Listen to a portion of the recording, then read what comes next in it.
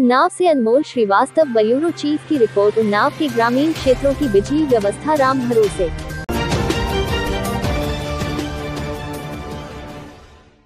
Short circuit से दूर दूर कर जला ट्रांसफार्मर।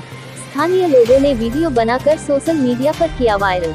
ग्रामीणों में बिजली विभाग के खिलाफ दिख रहा आक्रोश। कई दिनों से लीकेज की समस्या को लेकर ग्रामीणों ने जेई और एसडीओ को दी थी सूचना। लापरवाह बिजली विभाग के कर्मचारियों ने की अनसुनी आज शॉर्ट सर्किट से ट्रांसफार्मर में लगी आग। आसपास के लोग दुकान छोड़कर भागे। उन्नाव के गंगा घाट कोतवाली क्षेत्र के देवारा गाँव का मामला